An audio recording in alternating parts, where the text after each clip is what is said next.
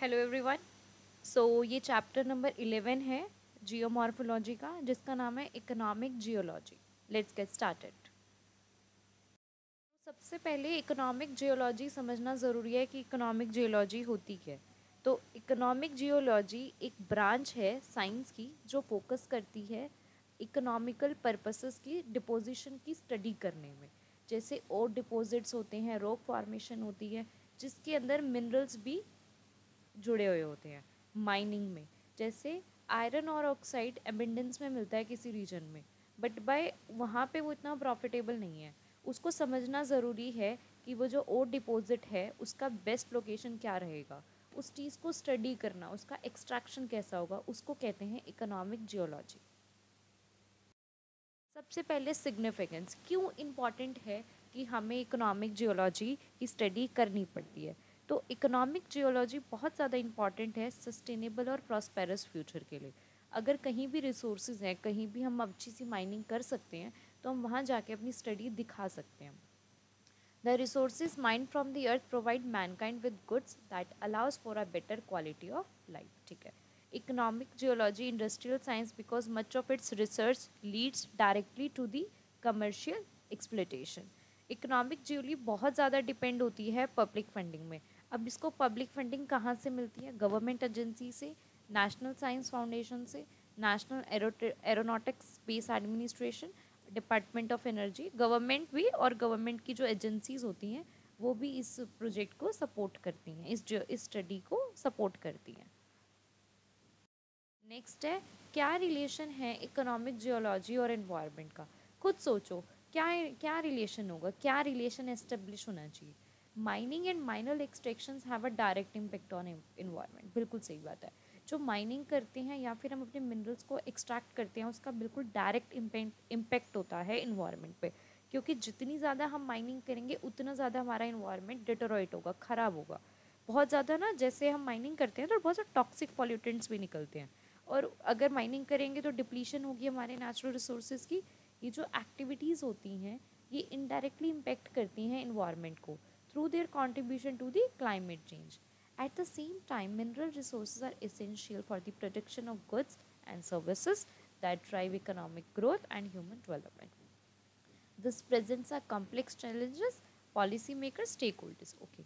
According to economic geology का journal का एक बात कहना है the work of environmental geologist can be very helpful बहुत ज़्यादा helpful हो सकता है economy के लिए environmental science and geology by hand in hand साथ साथ चलता है, ना आगे, ना पीछे साथ साथ चलेगा।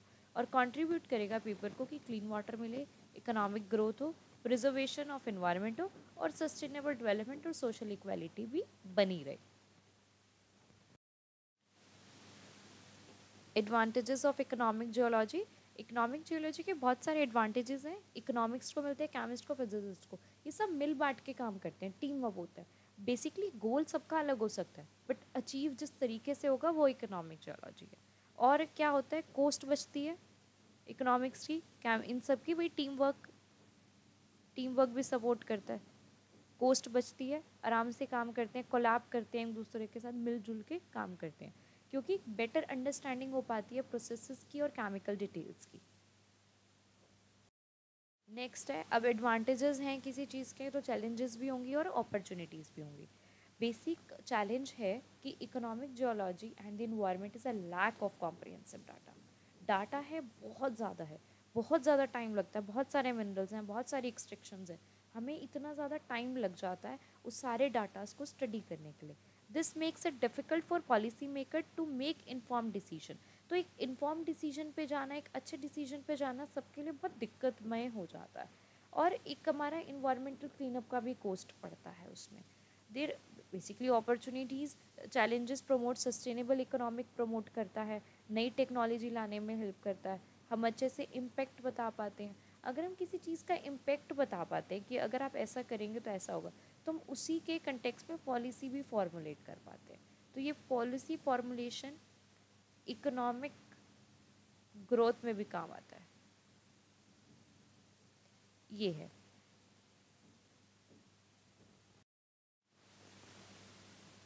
नेक्स्ट है strategies for balancing economic geology and environment क्या ऐसी स्ट्रैटेजीज हैं जिससे हम इकोनॉमिक जियोलॉजी और इन्वायरमेंट को अच्छे से बैलेंस कर सकते हैं? बेसिकली सबसे पहले हमें इसका बैलेंस मेंटेन करना बहुत ज़रूरी है।